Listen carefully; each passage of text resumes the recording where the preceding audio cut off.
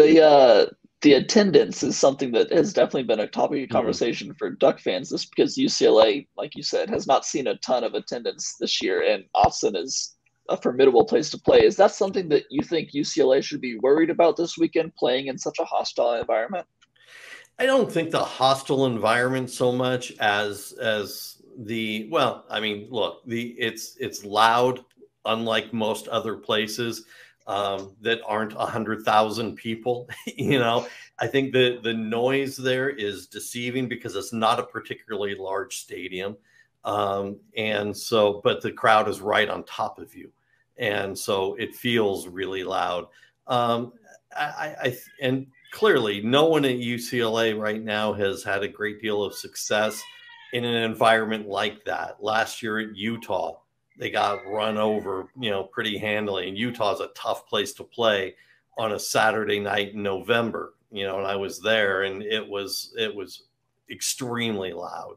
Um, so there isn't a lot of experience with success in that kind of environment. The if you're Chip Kelly and you're piping in tons of crowd noise at practice, uh, you know, this week like he is, um, you're looking at it and saying, look, we've got a veteran team. They've played in big games, they've played in hostile environments. But like I said earlier, yeah, but not like this. Not like this game, not with this much at stake and not in this tough of a place to play. So I, I, I think I think that you look to see what happens early on, you know, false start penalties or, you know, um, some some mental errors in the, the that take the form of penalties in the first five minutes of the game. If UCLA can stay away from that uh, early on, then mentally and emotionally, they're they're where they need to be.